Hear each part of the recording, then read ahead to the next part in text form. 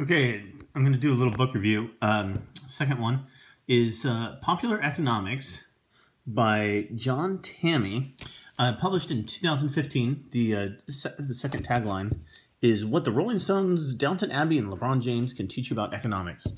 And uh, decent book. It, it has a very conservative slant on economics uh, very low tax. The the uh, the forwarded is by Steve jo- Steve Forbes, and if you know Steve Forbes, then you know it's going to be um, trying to simplify the tax um, system and also uh, try to lower taxes in general.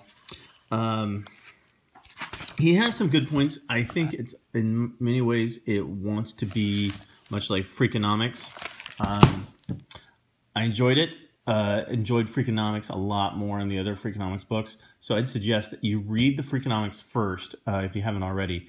Uh, to be a frugal millionaire, it's very important to understand economics.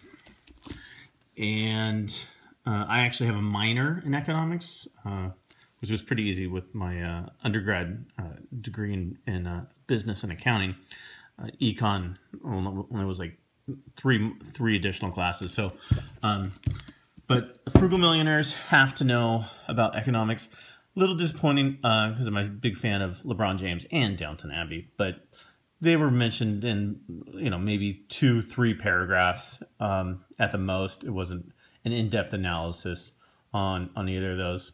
Good analogies they used, but uh, probably quite an exaggeration and a marketing technique to use those uh, in the tagline. So uh, tell me what you think uh, in the comments and do subscribe. Thanks.